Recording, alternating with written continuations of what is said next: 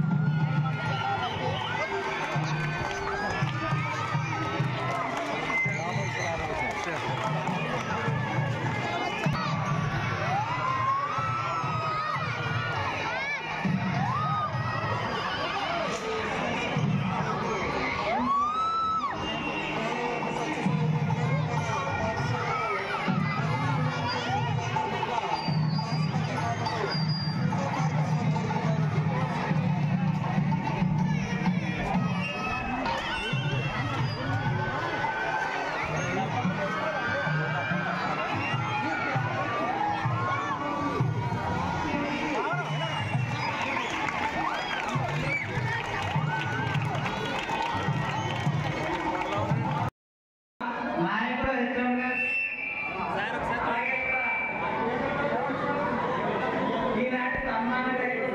करके कार्यक्रम के अहोरात्र श्रमित